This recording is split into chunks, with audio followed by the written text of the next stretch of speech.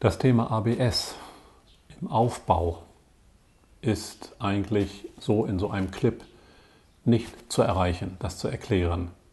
Deshalb verweise ich noch einmal auf unseren Film Bremssysteme. Fragen Sie in Ihrer Berufsschule einmal nach, in Ihrer Erinnerung. Manche Betriebe haben das auch, diesen Film. Und da kann man schon viel, viel mehr, unter Umständen mit Hilfe des Meisters oder des Lehrers, darüber erfahren. Im Prinzip ist ein ABS so aufgebaut, dass jedes Rad einen Drehzahlsensor hat. Das sind manchmal so gezahnte Räder, die man von außen sieht, wo ein äh, Geber da dran sitzt, ein Impulsgeber. Und das Ganze geht zu einem Steuergerät und das, um es ganz einfach zu sagen, bestimmt jetzt immer, ist die Drehzahl des linken Vorderrades gleich mit dem rechten Vorderrad, hinten links mit hinten rechts und alle vier Räder auch irgendwie gleich, mit kleinsten Abweichungen. Wenn dem nicht so ist, zum Beispiel bei einer Bremsung, dann muss da ja irgendwas schieflaufen. Das heißt, ein Rad, wenn es dann zum Beispiel auf Null gehen würde, würde ja signalisieren, hey, ich blockiere hier gerade. Und wenn ich jetzt mit einem ganz schnellen Impuls, und die Elektronik, die ist eben so schnell, viel schneller als wir denken und schalten können, wenn die jetzt sagt, ey, ich gebe jetzt innerhalb des hydraulischen Systems, nehme ich den Druck weg an dem Rad, was gerade blockierend, dann wird es wieder frei sein, bis es die gleiche Drehzahl hat. Wenn es dann wieder blockiert oder neigt dazu, dann wird es wieder gelöst werden.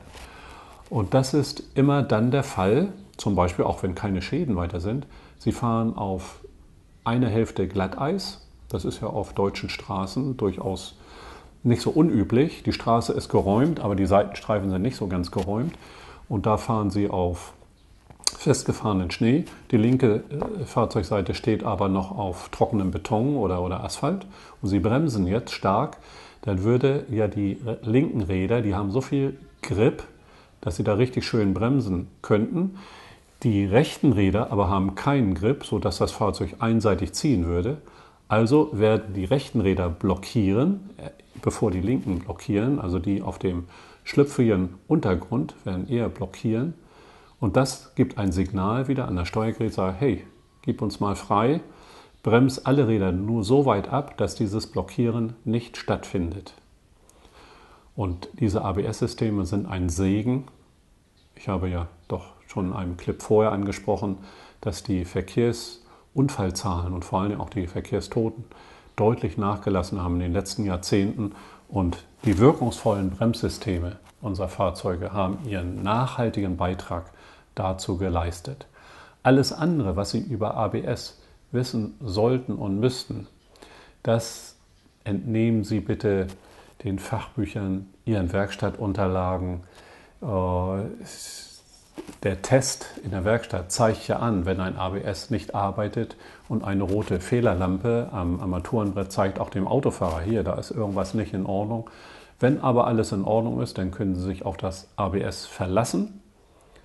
Es bremst so, gleicht unser, unsere Unsensibilität aus, indem es auch bei ungleichem Untergrund das Fahrzeug immer noch lenkfähig hält und damit wenn der Unfall sonst gar nicht mehr zu vermeiden wäre, weil sie einfach auf ihr Gegner rutschen, einfach noch drumherum fahren können, wenn die Chance besteht.